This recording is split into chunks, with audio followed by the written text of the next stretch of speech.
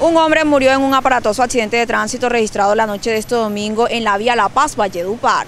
El hermano me dijo que había salido y la muchacha me dijo que había salido para los lados de la, de la Paz y pues no, que no supo más hasta ahora en la mañana que supieron de él. Ahora nos dicen que murió. ¿Él dejó alguna niña? No, no tenía hijos todavía. ¿Dónde residía la en Valledupar? En la torre. Con la mamá y los papás. ¿Cuántos hermanos tenía él? ¿Él era cuál? Tiene, son tres varones y una hembra. ¿Cómo se enteraron ustedes de la noticia? Pues las muchachas porque nos llamó en la mañana llorando que, que él había tenido un accidente que con un carro. Pues no, hasta ahora no sabemos más nada. ¿Qué muchacha? La mujer de él, la que andaba.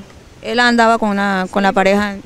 Sí, pero este, ella que se le tiró por ahí, que por el puente, por la, antes de, de, del, del puente de, de allá, de, de, la, antes de que él iba para La Paz, que iba a buscar a la mamá, no sé. ¿Y la mamá de él reside allá en La Paz? No, la mamá está en un pueblo para allá, para... Yo no sé si era que la iba a buscar, supuestamente que la iba a buscar. Pues salió fue para allá y mira el accidente, no sé, tuvo ese accidente. Ella, o sea, la pareja de él se lanza de la motocicleta porque él iba en exceso de velocidad, iban no, discutiendo. que él como estaba borracho también, no sé, que estaba bebiendo y ella se le lanzó de la moto y, y que él lo dejó que se fuera y hasta después fue que le dijeron que tuvo un accidente, ahí nosotros vimos esta mañana la, el accidente de la moto y vimos la moto toda dañada, pero no, no sabían, nos enteramos esta mañana. ¿Cómo era su nombre? Diego Armando este, Gutiérrez Molina.